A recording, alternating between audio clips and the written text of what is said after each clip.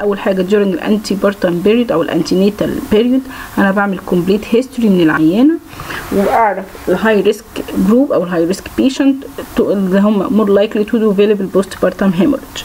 كمان do the early detection في بعد كده كمان اللي هو improvement of health status especially to raise ال hemoglobin level بعض الناس اللي عندها أساسا مشكلة عشان ما تخشليش في انيميا وإحنا اتفقنا الانيميا من ضمن ال causes بتاعة ال postpartum hemorrhage either hospital delivery لل high risk group patient أو ال high risk group woman اللي هم ممكن easily to develop ال postpartum hemorrhage زي ما إحنا قلنا الناس اللي هم ال polyhydramnios أو ال multiple pregnancy أو ال grand multipara أو اللي هي اللي عندها antepartum hemorrhage إحنا اتفقنا placenta previa أو ال abrupt placenta وقلنا كمان ال severe anemia فبالتالي أنا هعمل لهم hospitalization عشان أعمل control للحالات بتاعتهم دي ويبقى under observation either routine blood grouping and typing immediately في ال management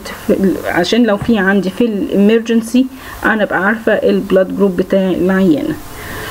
Also, the woman who has hemorrhagic blood diseases should give antifibrinolytic factors. دي من ضمن الحاجات اللي إحنا كنا قلنا عليها قبل كده في بعض ال disease condition بيبقى increase liability for postpartum hemorrhage عشان كده أنا بديها ال anti fibrinolytic factors.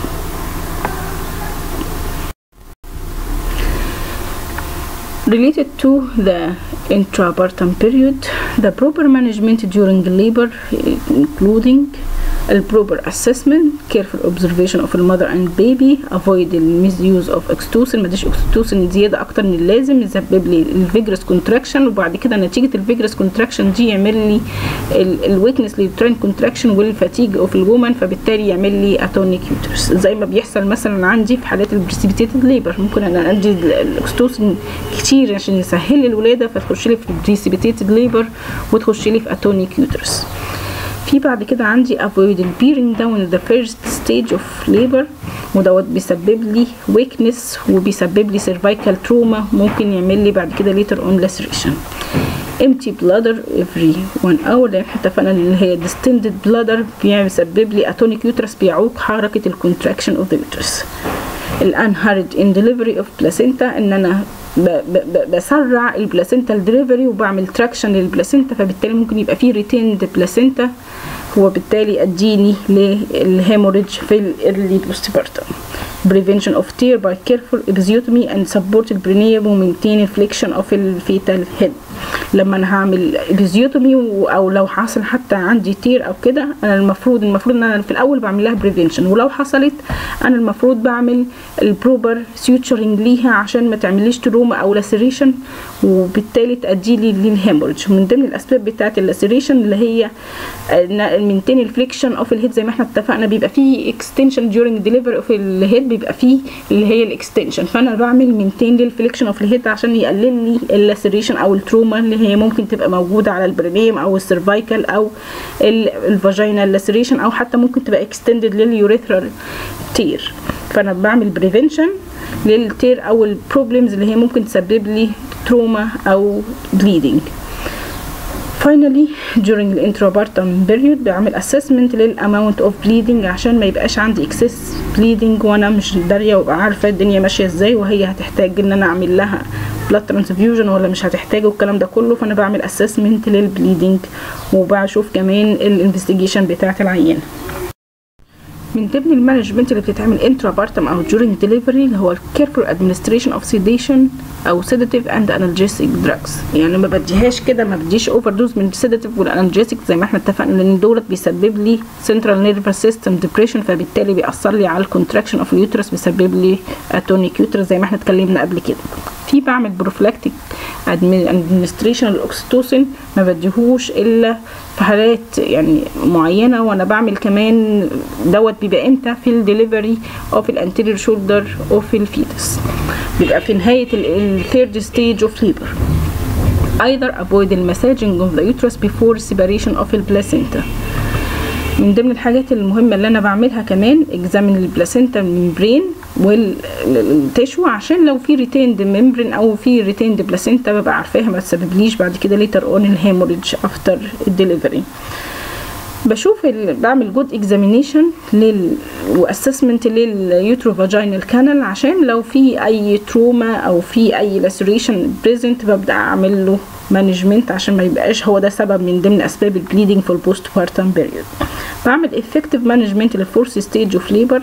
وكمان ما بستخدمش ال forceps أو ال breech delivery قبل ما بيبقى فيه عندي fully dilatation of the cervix لأن دوت بيعمل لي laceration لل birth canal لو أنا هستخدم ال forceps أو ال breech delivery قبل ما يبقى فيه full dilatation مع أثناء النزول دوت بتاع ال baby هيسبب لي laceration أنا اتكلمت عن ال preventive measure during ال antenatal أو ال prepartum أو ال intrapartum أو ال natal أثناء الدليفري طبعا لو حصل عندي إن في problem arised already اللي هي في اللي postpartum hemorrhage أنا هعمل بقى ال curative أو ال management بتاعتي اللي أنا هعملها. أول حاجة هعمل control ال bleeding through the following uterine massage. Exploration of the uterus under general anesthesia. ممكن يبقى فيه أي laceration في retained membrane في retained placenta whatever اللي موجود في ال uterus هشوف إيه كمان أو إيه اللي أنا هعمله كمان هو ال bimanual compression ودوت هعمل squeezing لل uterus between my two hands عشان أقلل أو أحاول أقلل ال bleeding هعمل intrapartum أو في حالة ال traumatic postpartum hemorrhage هعمل speculum examination عشان أشوف ال trauma اللي موجودة دي وأبدأ أعمل appropriate suture ليها. في حالات الحالات اللي هي العادية اللي عملت فيها ال measurement دي وخلاص عمل control ال bleeding it's okay if all these above measures failed to achieve ال hemostasis عشان نوقف ال bleeding الحل الوحيد اللي باقي قدامي إن أنا أعمل hysterectomy ودوت أنا ممكن أعمله في حالات ال uncontrolled bleeding after postpartum period من ضمن ال management المهمة غير اللي أنا قلته إن أنا اعمل close observation for the mother عن طريق record ال pulse وال blood pressure بتاعتها every 15 minutes عشان ما تخشليش في hypovolemic shock نتيجة ال bleeding اللي موجود. بالبيت ال uterus every 15 minutes to ensure its well contraction. إيه كمان من ضمن الحاجات المهمة check ال temperature every 4 hours عشان ما تخشليش في هي elevation في ال temperature بتاعت العيانة وتخش لي في infection وأنا مش عارفة. examine ال lochia for amount ال consistency دي اللي هتقول لي في excessive bleeding ولا ما فيش وفي blood clots ولا الدنيا ماشية تمام. examine ال IV infusion لو أنا محتاجة إن أنا أديها IV fluid عشان أعوض ال blood loss اللي بيبقى موجود دوت أو عشان عايزة أديها blood transfusion ده بردك من ضمن الحاجات اللي بتبقى موجودة عندي وده احتمال أنا بكون محتاجاه فأنا لازم أبقى عارفة ال observation بتاعت ال woman هل هي هتحتاج ولا مش هتحتاج. هشوف ال intake وال output chart عشان ما يأثرليش ال severe bleeding دوت على ال renal وأنا مش دريانة. ببقى عارفة ال renal شغالة كويس ولا مش شغالة عن طريق ال intake وال output relieve ال anxiety by explaining ال condition for ال woman وكمان من ضمن الحاجات المهمة إن أنا بديها prophylactic antibiotic ودوت عشان أقلل ال risk for infection دوت طبعا بيحصل في حالات ال laceration أو ال injury. بتزود ال risk عندي لل infection وكمان في حالات ال instrumental delivery فأنا بالتالي محتاجة إن أنا أديها prophylactic antibiotic عشان ما تخشليش في infection After we finishing the primary postpartum hemorrhage, now we speak about the secondary postpartum hemorrhage, which is defined as the bleeding which occur after the first 24 hours of delivery and may be lasts up to the end of preperium or six weeks of delivery. Now I tell you about the causes of secondary postpartum hemorrhage that may be due to retained product of conception as placental fragment or loops, retained pieces of membrane, or either blood clots. The causes of secondary postpartum hemorrhage may be also due to infection of the site of bleeding as placental site infection, cesarean wound site infection, or cervical canal infection. The another cause of secondary postpartum hemorrhage is subinvolution of ال uterus ان ال uterus ما بيرجعش لل condition بتاعته الطبيعية. ودوت بيحصل في حالات ال choriocarcinoma اللي بيبقى فيه عندي cancer في ال في ال في المكان ال placental separation بيبقى فيه عندي كمان اللي هو inversion of ال uterus إن ال uterus بتاعي بيبقى inverted أو مقلوب زي ما إحنا اتفقنا مش في وضعه الطبيعي. ومن ضمن الحاجات اللي بتسبب لي sub involution of ال uterus اللي هو ال local gynecological lesions زي ال cervical erosion أو ال cervical laceration وحالات ال carcinoma of the cervix فدوت الحالات دي كلها بتسبب لي إن ال uterus ما بيرجعش لل normal position بتاعه أو لل size أو ال condition بتاعته. فبالتالي ممكن تؤدي لي ال secondary postpartum hemorrhage إيه كمان زي ال hemorrhagic blood diseases زي ال leukemia وال thrombocytopenia زي ما اتفقنا Now we speak about the sign and symptoms of secondary postpartum hemorrhage. The general sign and symptoms is tachycardia low grade fever وال manifestation بتاعة ال hemorrhage زي ما إحنا ما اتفقنا. طيب regarding to the abdominal examination بيبقى فيه sub involution of uterus بنلاقي اليوترس large size ونلاقي ان هو مش مش فيرم مش contracted ودوت اللي إحنا بنسميه sub involution of uterus اللي هو inability of uterus to return to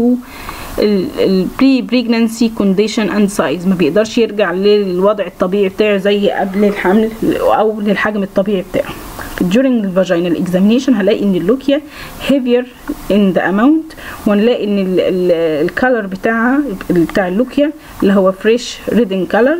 ممكن أحيانا نلاقي فيه offensive odor دوت في حالة الانفكشن لما بيبقى فيه retained membrane أو retained placenta بيبقى موجود. Regarding to the nursing management for second postpartum hemorrhage, the first one called the doctor massage of uterus.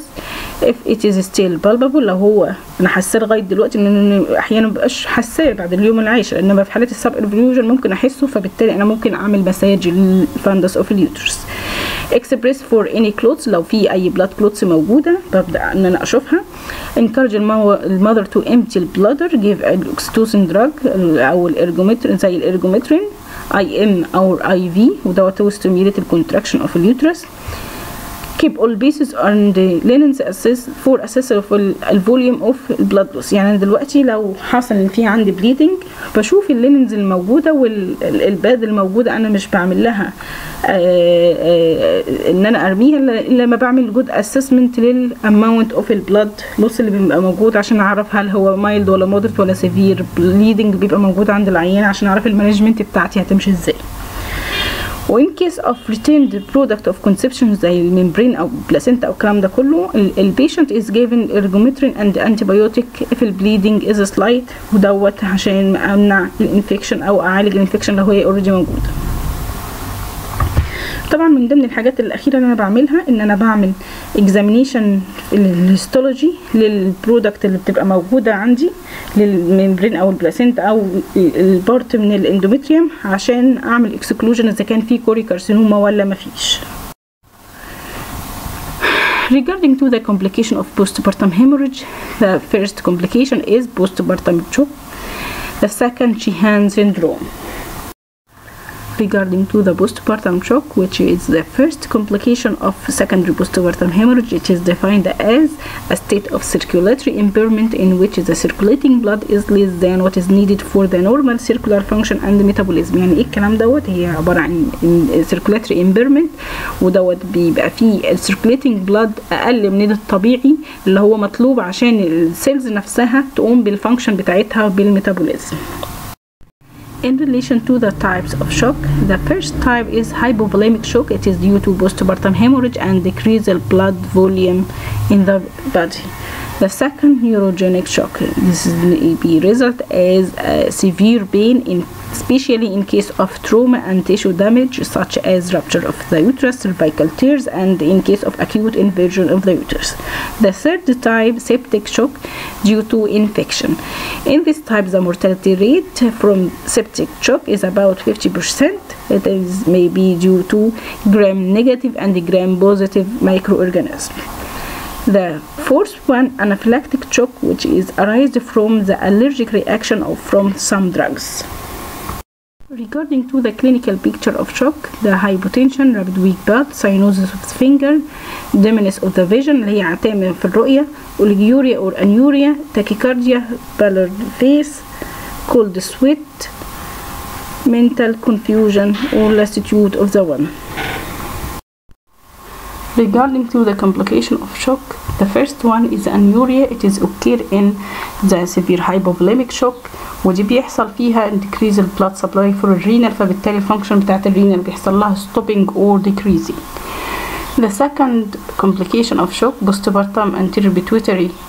gland necrosis which is mean Sheehan syndrome we speak about it later in the lecture the final complication of shock is this for the mother. Management for shock both the mother in trembling period position applying two lines of IV fluid and blood transfusion maintaining warmth of the woman provided oxygen inhalation monitor vital signs give a woman morphine and the antibiotic as ordered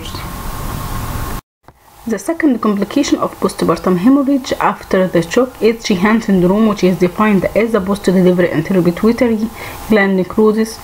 follows hypovolemic shock and GIC, diminished intravascular coagulation.